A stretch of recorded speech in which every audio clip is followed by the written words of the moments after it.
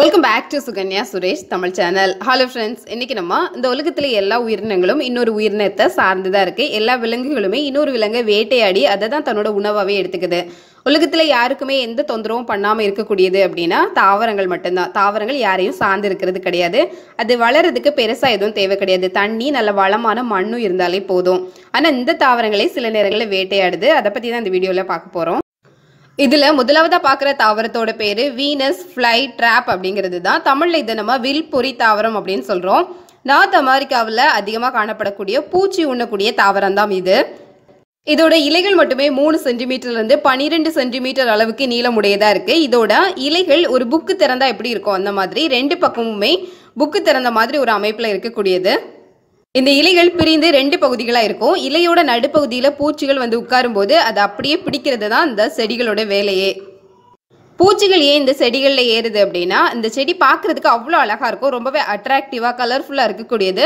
இந்த இலை மாதிரி இருக்கக்கூடிய பகுதியோட மத்திய பகுதி எல்லாமே நல்லா ரெட் கலரில் நல்லா பிரைட்டான சிவப்பு கலரில் இருக்கக்கூடியது. இதனால் பூச்சிகள் ஏதோ பூ தான் பூத்திருக்கு அப்படின்னு நினச்சிட்டு ஸோ அதில் போய் தேன் குடிக்கிறதுக்காக போகிறது உண்டு.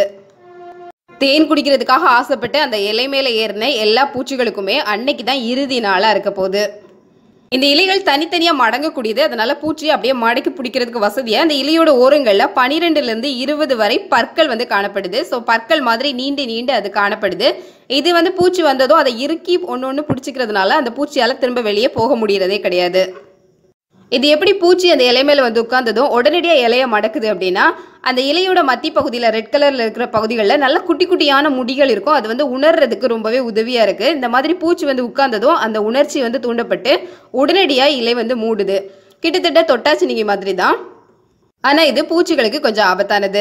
அழகுல மயங்கி போய் உட்கார்ந்த இந்த பூச்சிகள் எல்லாமே திரும்ப அதுலேருந்து வெளியே வர முடியாத அளவுக்கு அதோட ஓரங்களில் இருக்கிற பற்கள் வந்து அதை சிறைப்பிடிச்சு நல்லா லாக் பண்ணி வச்சிடும் திரும்ப அந்த பூச்சியால் வரவே முடியாது. அடிக்கப்பட்ட பூச்சி அந்த இலைகள் இன்னும் இன்னும் இருக்க ஆரம்பிக்கும். அந்த இறுக்கம் தாங்காம பூச்சி ஒரு கட்டத்தில் இறந்தே போகும்.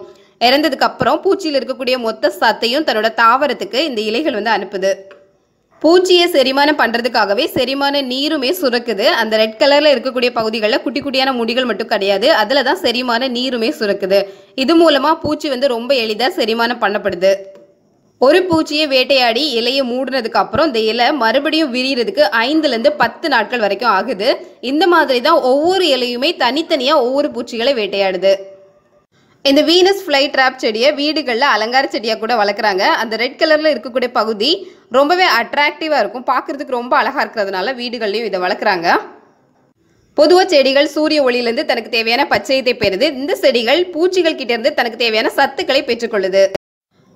அடுத்ததாக பார்க்குற செடியோட பேர் ட்ராபிக்கல் பிக்சர் பிளான்ட் அப்படிங்கிறது. இது நெப்பந்தீஸ் அப்படிங்கிற ஒரு ஃபேமிலியை சேர்ந்த தாவரம் தான் இது தமிழில் கெண்டி குடுவை தாவரம் அப்படின்னு சொல்கிறாங்க இந்த தாவரத்தில் மட்டுமே நூற்றி முப்பது இனங்கள் காணப்படுது. இதில் செடி மட்டும் கிடையாது கொடி வகைகளும் காணப்படுது. இது Australia New Guinea Ilangai Madagascar Philippine China India Vangalam போன்ற நாடுகளில் அதிகமாக காணப்படுது.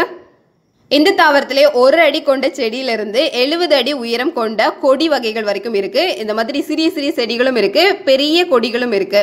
பெரிய பெரிய குடுவை கொண்ட இந்த மாதிரி மலர்களும் தோன்றது உண்டு சிறிய மலர்களும் தோன்றது உண்டு. இந்த தாவரங்கள் கிட்ட இருக்கக்கூடிய சிறப்பே மற்ற தாவரங்களை விட ரொம்ப ரொம்ப பளிச்சுன்னு ரொம்ப பிரைட்டான கலர்ஸ்ல இருக்கக்கூடியது தான் ரொம்ப அட்ராக்டிவா இருக்கிறதுனால உடனடியான அந்த பூச்சிகள் அது மேலே போய் உட்கார்றதுக்கு போகும். இந்த தாவரத்திலுமே இது குடுவையோட வாய்ப்பகுதியில் எண்ணற்ற தேன் சுரப்பிகள் இருக்கு. அதை பார்த்த உடனே பூச்சிகள் அது மேலே போய் உட்காரும். இன்னும் கவர்ச்சிகரமான வண்ணங்கள்லையும் இது இருக்கு. இதுல டிசைன்ஸ் கூட இருக்கு. இந்த குடுவையிலே டிசைன் டிசைனா இருக்கக்கூடிய குடுவைகளும் இருக்கு. பூச்சிகளை கவரக்கூடிய வண்ணம் தேன் நிறம் இன்னும் அது வாசனையாக கூட இருக்கு. இதனால பூச்சிகள் நம்பி போய் அதில் உட்காரும் போது உடனடியாகவே வலிக்கு அந்த குடுவைக்குள்ள பூச்சிகள் எல்லாமே விழுந்துருது. குடுவைக்குள்ளே எவ்வளோ பெரிய பூச்சி விழுந்தாலும் அதால் மேலே வரவே முடியாது. காரணம் அந்த குடுவைக்குள்ளே நிறைய குட்டி குட்டியான முடிகள் உள்நோக்கி வளைந்து காணப்படுது. இதுவே போதும் இந்த பூச்சிகளை தடுக்கிறதுக்கு. இது மட்டும் இல்லாமல் குடுவைக்குள்ளே நிறைய சுரப்பிகள் வேற இருக்கு. இது இன்னுமே பூச்சிகள் மேலே எழுந்து வர முடியாத அளவுக்கு தடுக்குது. இந்த குடுவைகள் காலியான குடுவைகள் அப்படின்னு நினைக்கலாம். இல்லை அந்த குடுவையில் மூன்றில் ஒரு பகுதி திரவம் நிறைந்திருக்கு. திரவ சுரப்பிகள் அதிலிருந்து திரவத்தை வந்து சுரக்குது. இந்த திரவத்தோட பேர் பெப்சின். இளம் குடுவைகள் எல்லாமே அதோட மூடியை கொண்டு மூடியபடி தான் இருக்கும். இந்த குடுவைகள் முதிர்ச்சி அடைந்ததுக்கு அப்புறம் தான் அதோட மூடி திறந்து அதோட வாய் வந்து எப்போதும் திறந்த நிலையில இருக்கும். இந்த பூக்கள் குடுவை மாதிரி மட்டுமே கிடையாது. கிண்ணம் மாதிரி புனல் மாதிரி பானை மாதிரி இந்த மாதிரி பல்வேறு டிசைன்ஸில் இருக்குது இந்த குடுவை ஜாடியோட அடிப்பகுதியில் தான் செரிமான சுரப்பிகள் இருக்குது இது மூலமாக தான் பூச்சிகள் எல்லாமே செரிமானம் பண்ணப்படுது. இந்த பூச்சிகள் மூலமாக தாவரங்களுக்கு நைட்ரேட் மற்றும் பாஸ்பேட் சத்து கிடைக்குது. அளவுக்கு அதிகமான அழகோடும் வண்ணங்களோடும் ஒரு பூ இருக்குது அப்படின்னா பூச்சிகள் எல்லாமே நிச்சயமாக யோசிக்கணும். அழகு இருக்கிற இடத்துல கொஞ்சம் ஆபத்தும் இருக்குது இந்த குடுவைக்கு எதுக்கு தேவையில்லாமல் மேல் பகுதியில் மூடி இருக்குது இது அவசியமே இல்லையே அப்படின்னு நினைக்கலாம். ஆனால் அந்த மூடி ரொம்பவே அவசியமாக இருக்குது காரணம் மழை பெய்யும் போது மழை தண்ணி அந்த குடுவைக்குள்ளே நிறையக்கூடாது. இந்த மாதிரி மழை தண்ணி குடுவையில் நிறையாமல் இருக்கிறத கட்டுப்படுத்துறதுக்கு அந்த மூடி ரொம்பவே அவசியமானதாக இருக்குது ஸோ ஃப்ரெண்ட்ஸ் இந்த வீடியோ வழியா தன்னோட அழகாலே மயக்கி சின்ன சின்ன உயிரினங்களை வேட்டையாடக்கூடிய ரெண்டு தாவரங்களை பற்றி தான் பார்த்தோம். இந்த வீடியோ உங்களுக்கு பிடிச்சிருந்தா லைக் பண்ணுங்க. இதை பற்றி என்ன நினைக்கிறீங்க அப்படிங்கிறது கீழே கமெண்ட் செக்ஷனில் சொல்லுங்கள் இந்த மாதிரி வீடியோஸ் தொடர்ந்து பார்க்கறதுக்காக சேனலை மறக்காமல் சப்ஸ்கிரைப் பண்ணிக்கோங்க. பக்கத்தில் இருக்க பெல் சிம்பிளை மறக்காமல் ப்ரெஸ் பண்ணிக்கோங்க. இது மூலமாக தொடர்ந்து எல்லா வீடியோஸையும் பார்க்கலாம். இன்னொரு வீடியோவில் சந்திக்கலாம். Thank you so much